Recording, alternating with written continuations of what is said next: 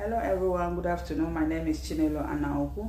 I am from Anambra State, but I stay in Italy with my family, my husband and my two children, my daughter of 14 and a half years and my son of 9 years.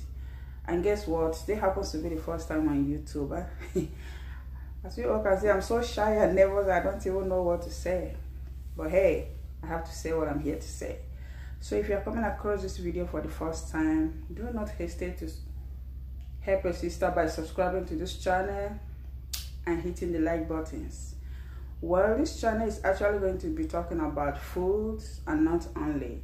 It will also talk about lifestyle, things that happens in one's daily life, and things that happens in so many of my friends' life. Most of them actually want me to talk about it on this platform. They couldn't do that due to one problem or the other. So I'll also be helping them to talk about their problems in order to see the views of others and what others have to say about what is happening in their own lives. So please, if you are stopping by for the first time, do not hesitate to hit the subscribe buttons. Please help a sister to grow in this 2020 because I waited for so long.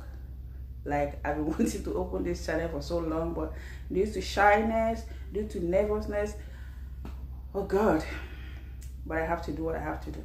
So please stop by and help your sister. Thank you all and God bless you all. Mm.